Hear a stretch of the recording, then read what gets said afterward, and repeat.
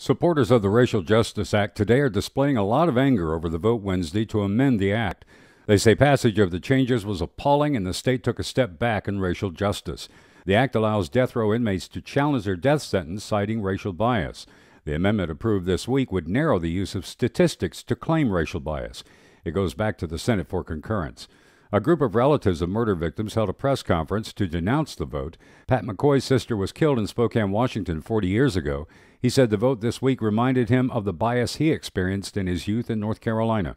I grew up in Fayetteville and remember signs in downtown theaters directing African Americans to the balcony for the passage of the Civil Rights Act. And the prominent Ku Klux Klan billboard out on Highway 301. We can celebrate the progress we have made since then, and we can work to eliminate the remnants of that legacy that persists. There is no more shameful legacy in our state than the racial bias that has infected our use of capital punishment.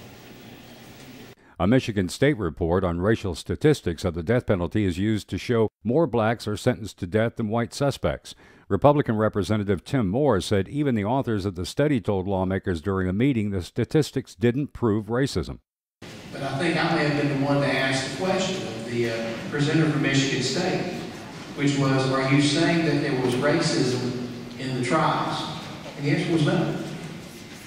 What they were saying was that in isolated cases there were these statistics. That's what, that's what it was. Well, that has mushroomed into this concept that simply has not been proven.